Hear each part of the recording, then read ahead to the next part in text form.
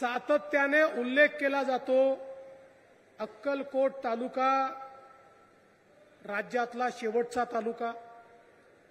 शेवटचा म्हणून त्याला शेवटचाच ठेवायचं. पाणी पण शेवटीच द्यायचं. विकास पण शेवटीच द्यायचा. आम्ही भूमिका बदलली. आम्ही सांगितलं अक्कलकोट हा महाराष्ट्राचा शेवटचा तालुका नाही हा महाराष्ट्राचा पहिला तालुका आहे. अरे सुरुवात महाराष्ट्राची या अक्कलकोट पासनं होते. आणि म्हणून या ठिकाणी पाणी पण देऊ आणि विकास पण देऊ खरं म्हणजे लोक अनेक वेळा सचिन दादालाही वेड्यात काढायचे. अरे आम्ही खूप वर्ष ऐकलं उजनीचं पाणी देणार उजनीचं पाणी देणार इकडनं पाणी येणार तिकडनं पाणी येणार. निवडणुका आल्या की केवळ आश्वासनं असतात ही कामं होत नाहीत.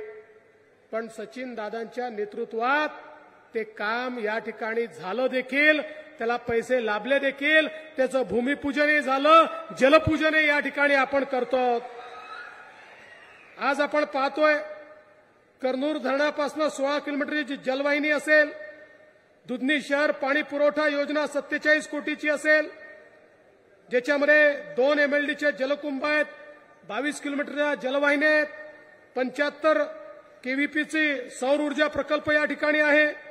त्यासोबत अक्कलकोट शहरातले एकशे दोन कोटी रुपयांच्या रस्त्यांचं देखील आपण काम या ठिकाणी करतो शंभर खाटांचं उपजिल्हा रुग्णालय करतो विविध रस्त्यांची कामं अक्कलकोटपासनं तर या ठिकाणी बहुरपर्यंतच्या रस्त्याचं काम आपण करतोय. अमृत दोन मधून पाणी पुरवठा योजनेकरता बहात्तर कोटी रुपये देतोय आणि या ठिकाणी देगाव एक्सप्रेस कॅनाल ज्याच्यामुळे अक्कलकोट तालुका आणि दक्षिण सोलापूर दोन्ही ठिकाणच्या गावाचं चित्र आणि चेहरा बदलणार आहे. त्या देगाव एक्सप्रेस कॅनलला देखील साडेतीनशे कोटी रुपये आपण दिले आणि त्याच्याही कामाची सुरुवात आज या ठिकाणी होते.